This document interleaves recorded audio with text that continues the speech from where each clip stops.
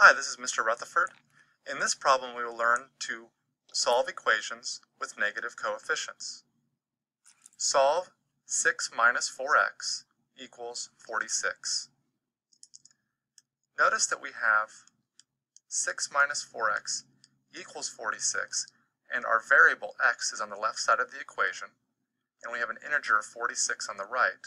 So that means we want to move this 6 to the right hand side of the equation. And in order to do that, we need to subtract it. But we need to do it from both sides to keep our equation balanced.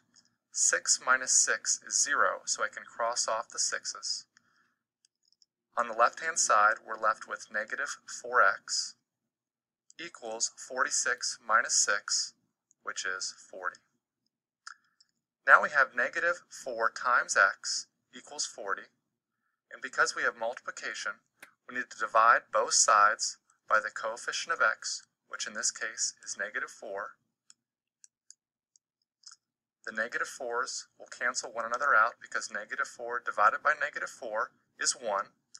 So we have x on the left, and 40 divided by negative 4 is negative 10. So that's the answer we've come up with. Now let's check our answer. So we're going to substitute negative 10 into the original problem. So we have 6 minus 4, and we're going to substitute our negative 10 in for x, equals 46.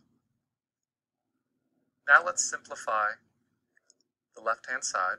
So first we need to do negative 4 times negative 10. So we'll have 6 plus 40 equals 46. 6 plus 40 is 46, and notice that 46 is equal to 46, so our answer of x equals negative 10 does check in the original problem.